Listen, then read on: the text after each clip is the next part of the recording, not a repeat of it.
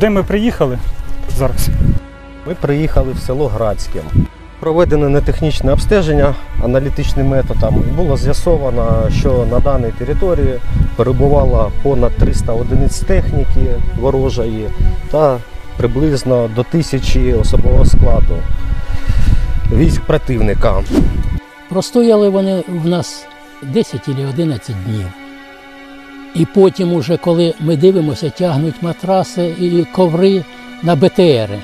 Ложили, щоб у людей покрали, да.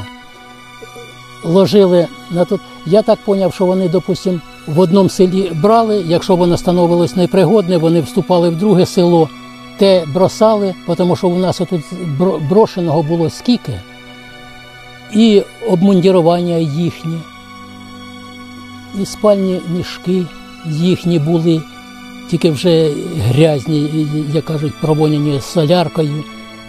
А отсюди забирали вони де чистіше. Опять же, забирали з собою, їхали. Отут в городі, в моєму і в сусідньому, стояло 6 градів.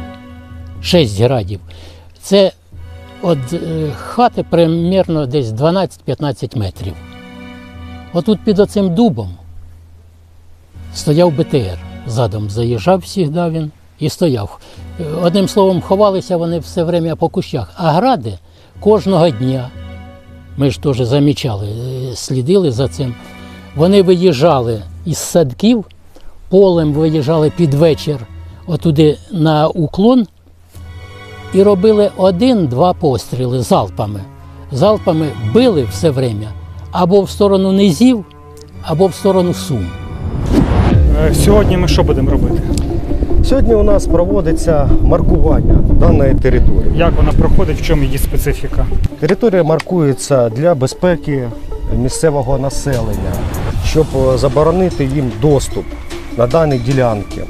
Після маркування територія буде передана органам місцевого самоврядування на утримання.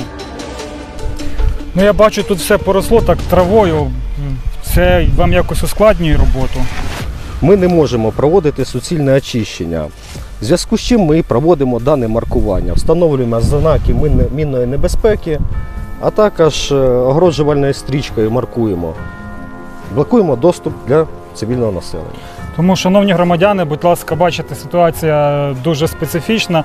Побачите такі таблички, як вона називається? Мінна небезпека. Так, знаки мінної небезпеки. Обережно міни. В жодному разі не заходьте за, за ці таблички, тому що в, в будь-якому, я так розумію, сантиметрі цієї площі там може знаходитися будь-який вибухонебезпечний предмет. Війська противника залишили е, транспортні міни в околицях на дорогах. Е, якщо чоловік пройде, вона не зреагує. Ну, якщо буде їхати техніка, то вага вже дозволить, що вона здетонує. Ну це не, не тільки тут можуть бути ці боєприпаси, також, які е, також тут можуть бути боєприпаси, які не використані е, противникам. Скажу вам, навіть зараз, коли чуєш десь взрив якийсь, або чуєш гуркіт такої техніки, то мандраж бере.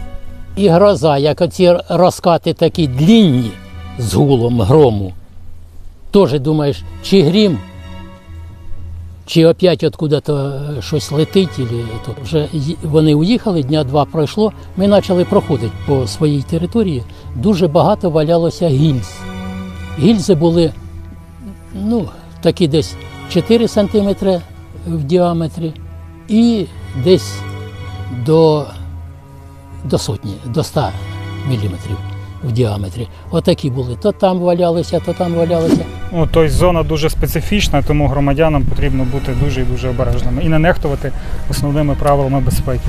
Коли бачите таблички мінної небезпеки, це прямий доказ, що територія забруднена, що на неї не треба ходити, наражати себе, оточуючих на небезпеку. Ось так, міліметр за міліметром, наші піротехніки щоденно, ризикуючи саме своїми життями, обстежують територію нашої Сумщини. І все для того, аби саме ви були в безпеці. Тому Ви, якщо бачите ось таку табличку, в жодному разі не ігноруйте її, не заходьте за неї. Ну і з дивних для мене причин перестаньте їх знімати і забирати з собою. Все в ваших руках разом до перемоги. Від самого початку я скажу, що служба ДСНС е, відпрацювала дуже добре. Майже зразу ж після звільнення нашої території від окупантів сюди почала над'їжджати е, служба ДСНС і провірили поле, приїхали служби. Е, Тому я від, відзив, відзив мій такий лічний спрацювали на відмінно. Добре, дякую вам. Все, бувайте здорові.